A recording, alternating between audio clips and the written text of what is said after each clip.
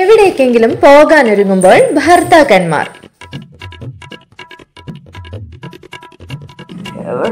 കാണുന്നില്ലല്ലോ. എടി ദിവ്യ എന്റെ പാന്റ് അയൺ ചെയ്തോ നീ? ദാ അയൺ ചെയ്ത മേശയിൽ വെച്ചിട്ട് അവിടെ വെച്ചിട്ട് എന്താ കാര്യം ഇങ്ങോട്ട് കൊണ്ടുപോവാ അത് പോയി എടുക്ക് മനുഷ്യ. എന്റെ വാച്ച് എവിടെ? വാച്ച് ബെഡിൽ അതെടുത്തോ.